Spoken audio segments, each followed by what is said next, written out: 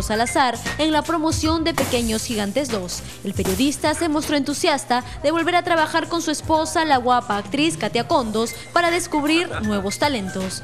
Sí, la primera temporada fue lo linda que fue, lo pasamos, lo bien que la pasamos, vimos el talento que vimos. Esta se viene pero recargada, con todo, porque uno aprende. Claro, exacto, lo que decía Katia, que uno, uno va aprendiendo y además esta vez hemos podido ir eh, adentro del país, realmente en el interior del país y tenemos eh, cosas que traerles desde las más distintas provincias.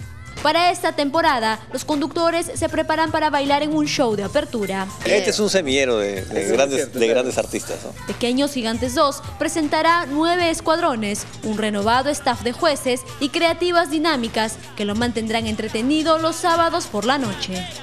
Prontísimo. Prontísimo. Prontísimo, ya se están armando los escuadrones, el talento que hay es increíble, el jurado va a estar increíble, el opening, todo. Van a haber muchas, muchas, muchas sorpresas, así que con todo el cariño. sí, todo el público la va a pasar súper.